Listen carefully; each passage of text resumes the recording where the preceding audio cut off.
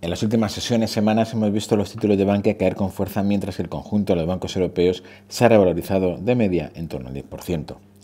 Dicho esto, y dentro del impecable soporte decreciente por el que se viene desplazando el precio desde hace un año, tenemos un doble apoyo, que no doble suelo, en el nivel de los 2,45 euros.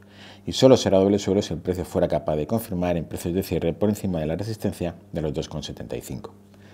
Por encima tendremos la primera señal de fortaleza en el título en mucho tiempo, antesala de un movimiento en forma de rebote que al menos le acerque niveles de resistencia cercanos a los 3,3,05 euros.